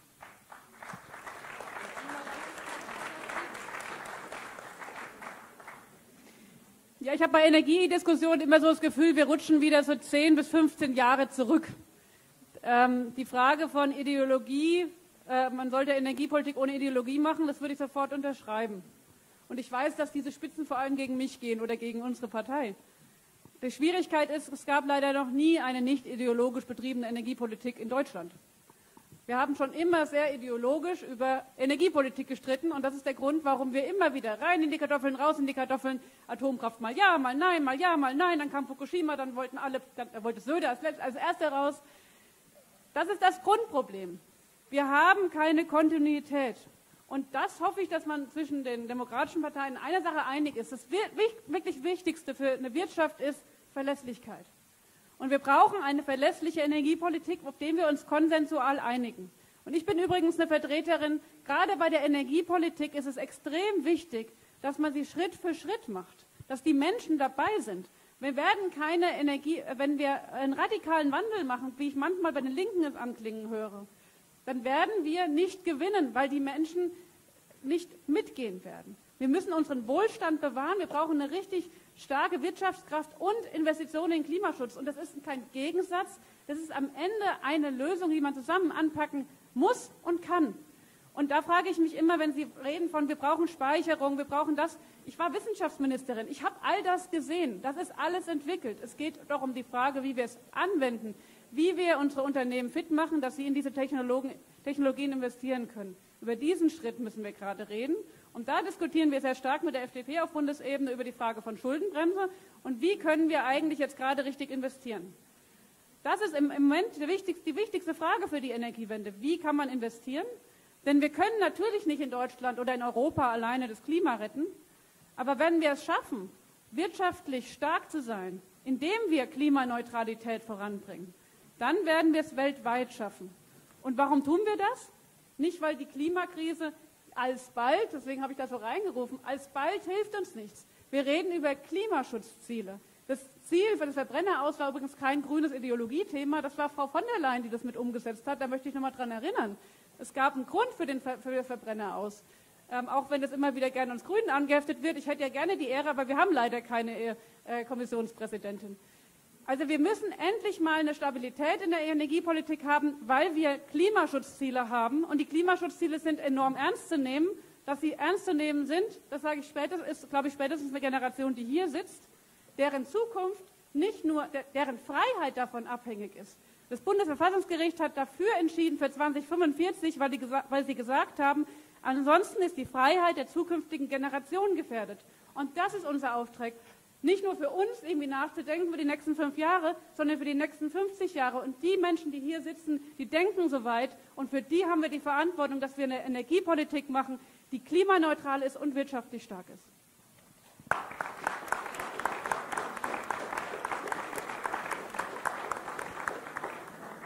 Ich glaube, äh, das Thema Katastrophenschutz kommt ja noch angeschnitten. Ähm, ich möchte den Ball deswegen noch mal ein bisschen anders aufzäumen. Ob wir Klimaschutz brauchen oder nicht brauchen, diese Frage stellt sich nicht. Ich war einer der ersten Sanitäter, der aus Hessen im Ahrtal nach der Flutkatastrophe gelandet ist. Und das war das Schlimmste, was ich im Leben je erlebt habe. Und wenn man dort stand und hat sich die Wucht dieser Ereignisse angesehen und die hat einen getroffen, ähm, wie mir das noch nie in meinem Leben passiert ist. Der diskutiert nicht darüber, ob wir Klimaschutz brauchen oder ob wir noch mehr einen Katastrophenschutz, das sowieso. Aber der Katastrophenschutz, wie ich als Sanitäter seinerzeit, kommt erst, wenn es schon zu spät war. Und das heißt, wir müssen jetzt was tun und Klimaschutz schützt unser Leben und da war das ähm, ganz eklatant deutlich zu sehen. Deswegen bin ich da ein bisschen emotional, auch wenn das vielleicht jetzt nicht der Kern der SPD ist, aber wer verantwortlich für die Menschen hier im Land handeln möchte, der muss den Klimaschutz mitdenken. Und das ist etwas, wo wir gemeinsam investieren müssen. Und natürlich können wir sagen, ja, wir sind im Vergleich zu China klein und die Amis sind auch größer. Kann man machen ähm, und sagen, wir warten, bis die anderen anfangen. Aber in so einer Uhr gibt es auch kleine und große Zahnräder. Und wenn das kleine sich nicht mitdreht, dann braucht sie auch kein anderes drehen. Also das Argument zählt für mich nicht. Wir müssen jetzt investieren und wir haben die Chance. Ich persönlich denke, dass wir da auch einfach ähm, eine Mischstrategie brauchen. Wir werden ähm, ich bin auch schon als Lehrer nicht der Fan von Verboten gewesen. Ich glaube, wenn man sich vernünftig drüber unterhält, dann ist jedem ersichtlich, was Sinn macht und was nicht. Und dann ist auch klar, dass man sich nicht die ganze Zeit ähm, ins eigene Fleisch schneiden kann, wenn man das nicht mitdenkt. Wir brauchen grüne Technologien. Wir können da investieren. Wir haben da ganz, ganz viele. In Hessen schon grüne Technologien, aber auch in ganz Deutschland. Ich glaube, dass wir europäisch das gemeinsam fördern müssen. Ähm, und ich denke auch, dass wenn man erstmal dran ist und sein Haus saniert und hat die Möglichkeit, eine Dämmung aufzubauen, dass es im Sommer nicht 30 30 Grad drin hat, sondern vielleicht nur 21, dann wird man das tun. Und äh, wenn man dann vielleicht die Chance hat, auch vom Öl wegzukommen, dann muss man auch gucken. Ich bin auch nicht dafür, dass man jedem eine Wärmepumpe aufdrückt. Ich lebe in einem alten Fachwerkhaus, das wäre bei mir nicht gegangen. Ich habe auf Pellets gesetzt. Darüber können wir gerne streiten, welcher Weg jetzt der bessere ist. Aber dass wir uns auf den Weg machen müssen für den Klimaschutz, das sind wir verdammt nochmal euch allen schuldig.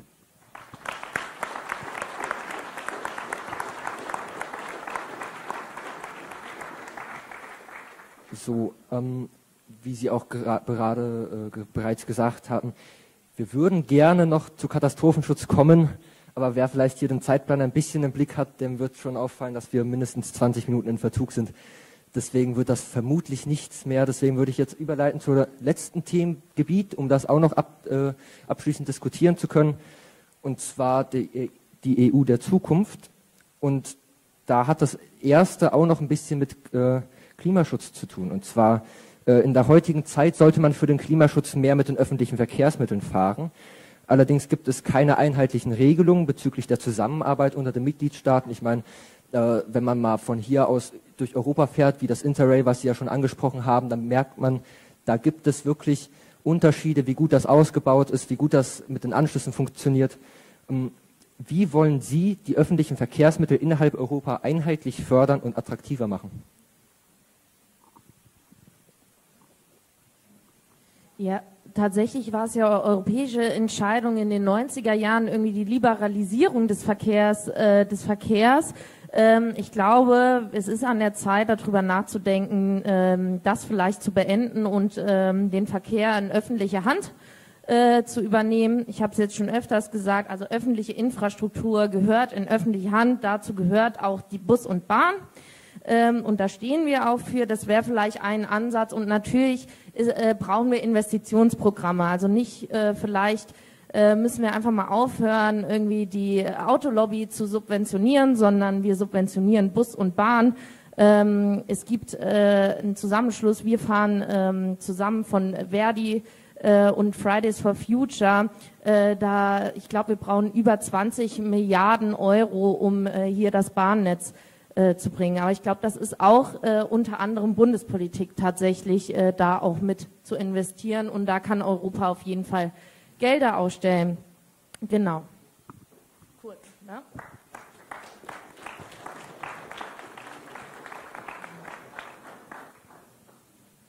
Also ich finde das Ziel dieser Frage, dass wir öffentlichen Verkehr auch EU-weit, europaweit fördern sollten, das finde ich komplett richtig. Ich bin auch der Meinung, dass es einige Strecken gibt, wo es deutlich sinnvoller ist, schlicht äh, statt mit dem Flugzeug äh, individuell ähm, zu fahren. Da gibt es gute Zugverbindungen. Konkret fordere ich dazu, ähm, wird auch äh, bald ähm, kann man das auch überall nachlesen auf meinem Facebook oder Instagram. Ähm. Wir sollten definitiv zentrale Strecken nach Paris, nach Warschau, sollte mit dem Zug erreichbar sein. Und da sollten wir auch innerhalb Brüssels oder von der EU-Ebene her ähm, also das vorantreiben. Ich glaube, es sind uns Grenzen hinsichtlich der Kompetenz und Zuständigkeit gesetzt, aber das wurde gerade schon richtig gesagt, man kann das auf jeden Fall deutlich mehr forcieren und das sollte man auch machen. Ähm, wofür ich nicht bin und mich wirklich äh, stark also abgrenzen möchte, ist, dass man allen Menschen vorschreibt, mit welchem Verkehrsmittel, also dass sie alle nur noch mit der Bahn fahren dürfen. Ich glaube, wir sollten uns immer dicht an den Menschen aufhalten, ähm, dass das Leben praktisch auch ähm, funktioniert. Und ich glaube, da sollte man weniger mit Vorschriften als mit Anreizsetzung arbeiten mit hoher Geschwindigkeit.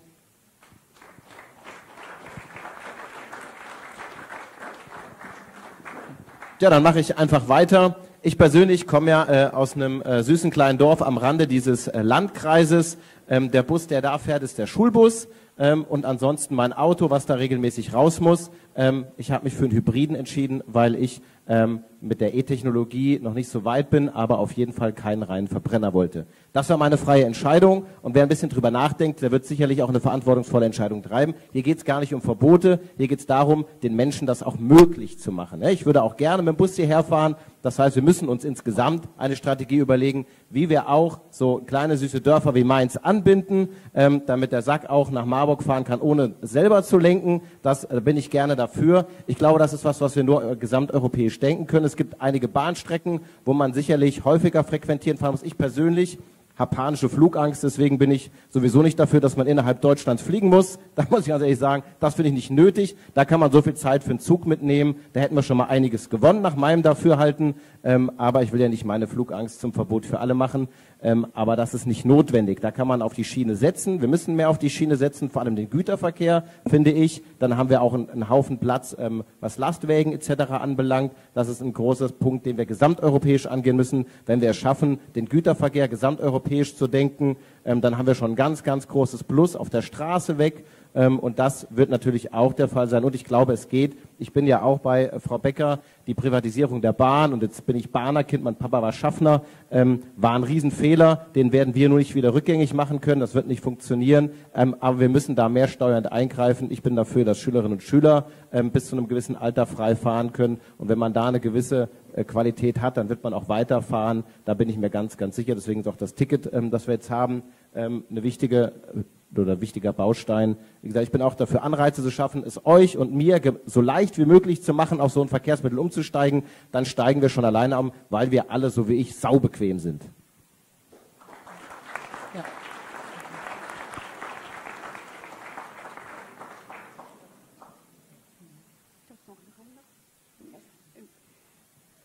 Also es gibt, glaube ich, auf diese Frage keine einfache Antwort.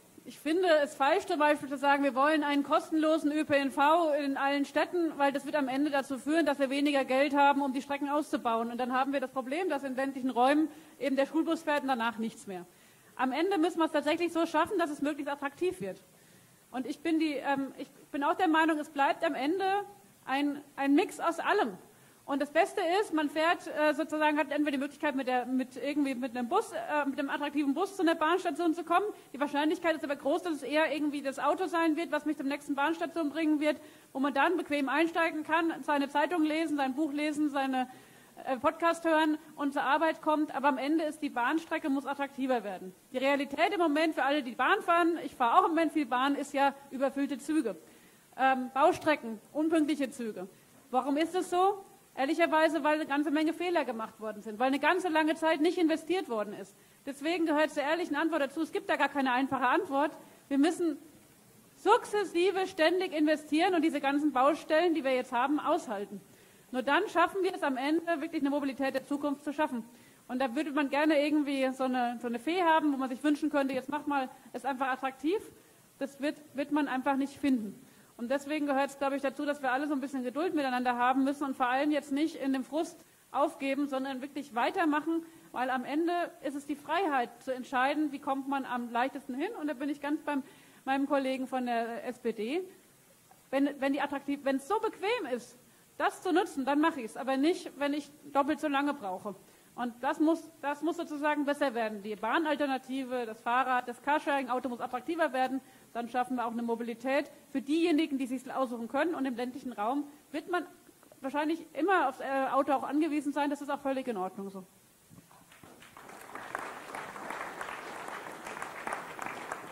Ja, ich kann, ich kann gewissen Argumenten natürlich nur zustimmen. Ich bin auch viel unterwegs. Wir reden ja eigentlich über die Zukunft in Europa.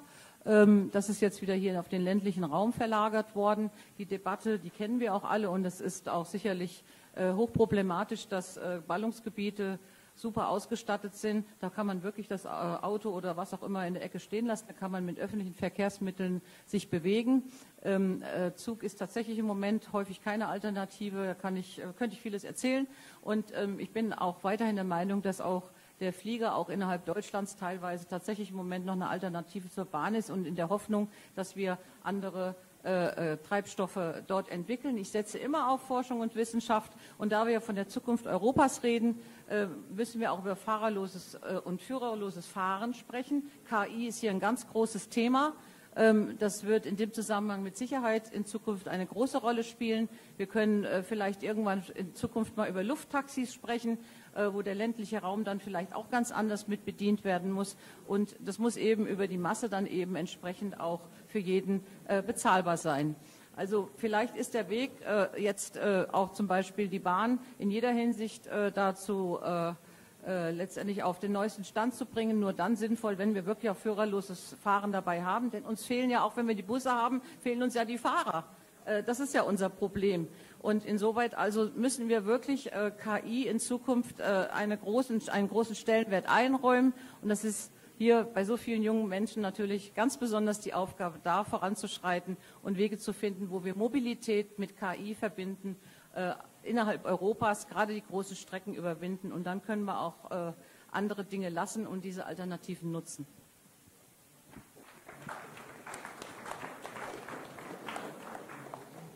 Ja, also ich äh, sehe das nicht so, dass unsere ähm, öffentlichen Personennahverkehrsprobleme jetzt irgendwie von der EU gelöst werden oder überhaupt äh, Bahnprobleme. Ähm, ist natürlich wichtig und, und schön, wenn man auch äh, innerhalb Europas mit der Bahn ähm, rumfahren kann. Das ist ja auch möglich und da haben auch die Bahngesellschaften allein aus wirtschaftlichen Erwägungen ähm, ein Interesse dran. Aber wir haben jetzt, glaube ich, erstmal hier andere Baustellen. Äh, Zusammenarbeit europäische, da können wir im Bereich des Güterverkehrs vielleicht drüber reden. Das hat ja auch schon wieder einen sicherheitspolitischen Aspekt für die Verteidigung dann. Da ist Deutschland aufgrund seiner Lage natürlich auch die wichtige logistische Drehscheibe. Aber ansonsten, wenn wir jetzt eine Summe X zur Verfügung haben äh, und können die in die EU geben, damit das irgendwo verteilt wird äh, für, für Bahninfrastruktur.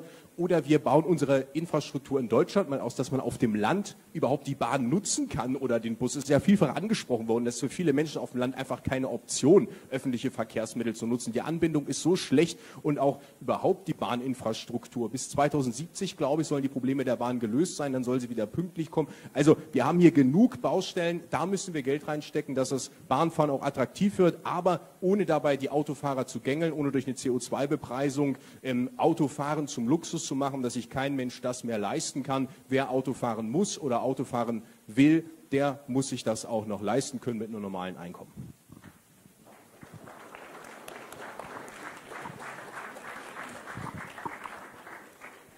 Um nun zu unserer letzten Frage des heutigen Tages zu kommen, um noch die Publikumsfragen offen zu lassen, ähm, machen wir einmal, inwiefern planen Sie zwischen den politischen Lagern zu kooperieren?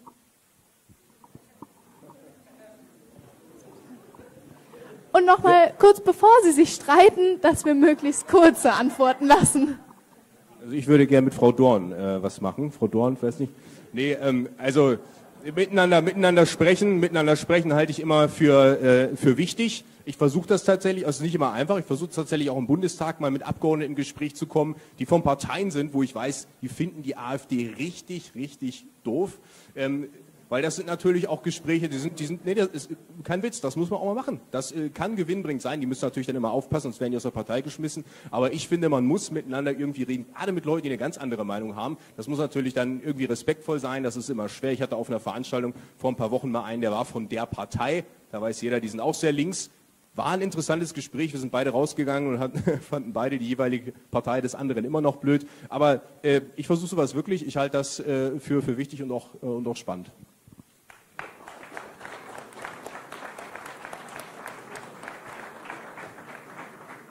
Also ich denke, ähm, dass äh, ich, die ich die äh, FDP vertrete, natürlich auch immer bereit bin, äh, mit fast allen zu kooperieren, die erstmal demokratische Ansätze und auf dem sozusagen Boden des Grundgesetzes agieren.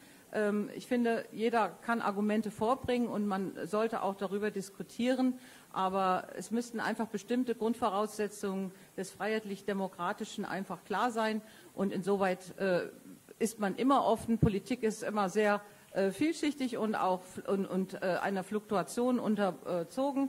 Insoweit ähm, äh, es muss immer möglich sein, äh, sozusagen den Wählerwillen umzusetzen, wo es nur geht. Aber wie gesagt, wir haben immerhin ein Grundgesetz, auf dem wir alle hier auch äh, agieren.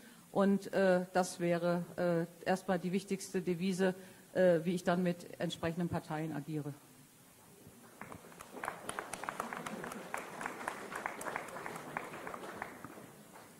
Habe mit allen demokratischen Parteien guten Austausch. Ich habe tatsächlich in allen demokratischen Parteien auch echte Freunde, mit denen ich mich regelmäßig treffe.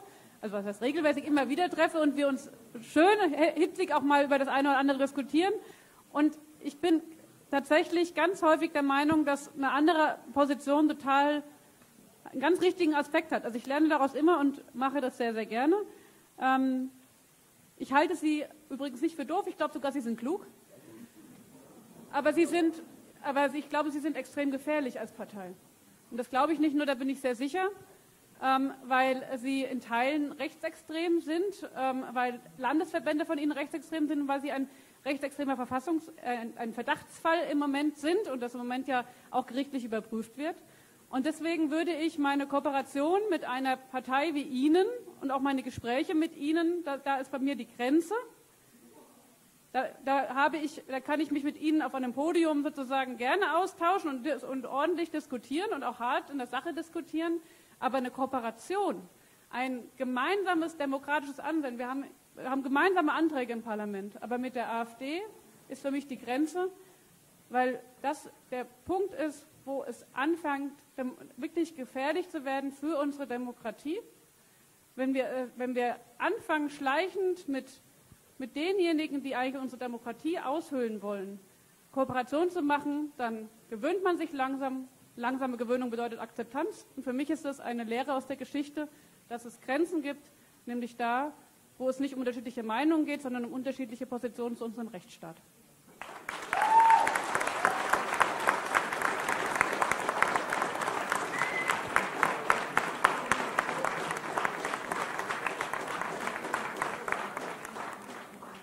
Ja, also dass man immer mit jedem äh, auch reden können muss, das denke ich ist Teil der Politik und deswegen sitzen wir hier und tauschen uns aus. Ich hatte ganz am Anfang gesagt, ähm, dass ähm, wer Europa denkt, darf keine Grenzen sehen. Ähm, es gibt aber in der Zusammenarbeit durchaus Grenzen, nämlich wenn eine Partei sich diametral von allen anderen Parteien unterscheidet und ich kann für die SPD sagen, und da lege ich mich nicht weit aus dem Fenster, auch wenn ich nicht der Parteivorsitzende bin, ähm, dass für die SPD eine Zusammenarbeit mit der AfD auf keinen Fall in Frage kommt. Das ist Fakt. Das liegt am Verhältnis zu Europa. Wir reden ja über Europa, da gibt es ja große Unterschiede und auch wenn das nicht im Parteiprogramm steht, ähm, der Kollege hat hier vorgeschlagen zu googeln, dann werden Sie googeln, dass im AfD-Umfeld sehr viele vom Dexit sprechen, ähm, ob das jetzt im Programm steht oder nicht, aber auch Parteivorsitzende haben eine gewisse Richtlinienkompetenz da drinne. Das muss man sich bedenken. Es geht um das Verhältnis zur Demokratie, zur Rechtsstaatlichkeit und auch zur deutschen Geschichte. Und da bin ich als Geschichtslehrer und als Rallye-Lehrer nochmal doppelt einig und als Sozialdemokrat sowieso. Das kommt für mich nicht in Frage. Alle demokratischen Parteien sollten darüber hinaus miteinander sprechen für ein gemeinsames Europa und vor allem für eure Zukunft.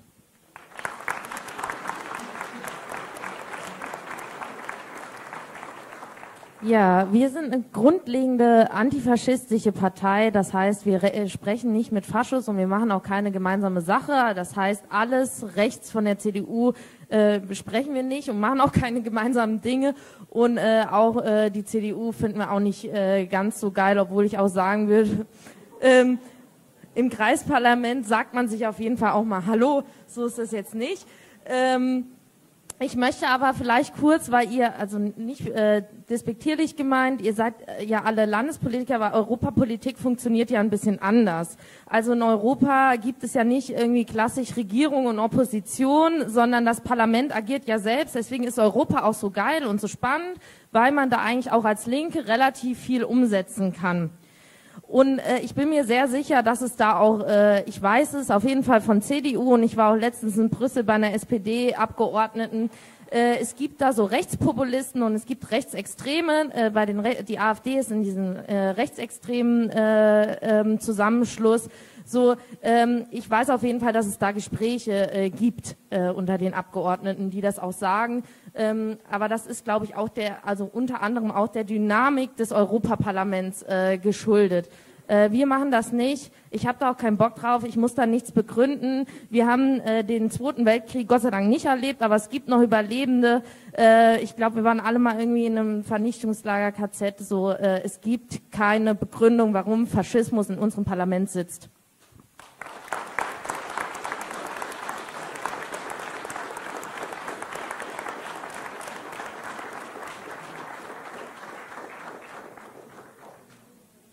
Wir als Partei stehen ganz klar auf dem Boden des Grundgesetzes und das führt, führt einfach auch dazu, dass ich mit demokratischen Parteien, die sich äh, an Grundgesetze, Menschenrechte halten, selbstverständlich spreche. Ähm, diejenigen, die das nicht tun, ähm, die sich rechts außen befinden, von denen halte ich Abstand und gibt es auf politischer Ebene auch keine Gespräche. Das gilt sowohl auf europäischer Ebene als auch bei uns im Stadtparlament in Frankfurt am ähm, Main. Eine letzte Angelegenheit noch in unser aller Sache. Am 9.6. ist ein Sonntag, ist Europawahl. Bitte geht wählen. Sucht euch aus, wem ihr eure Stimme geht. Überlegt es gut. Und ihr könnt auch, wenn ihr an dem Tag verhindert seid, Briefwahl ist auch eine Option. Wie gesagt, am 9.6. wählen. Dankeschön.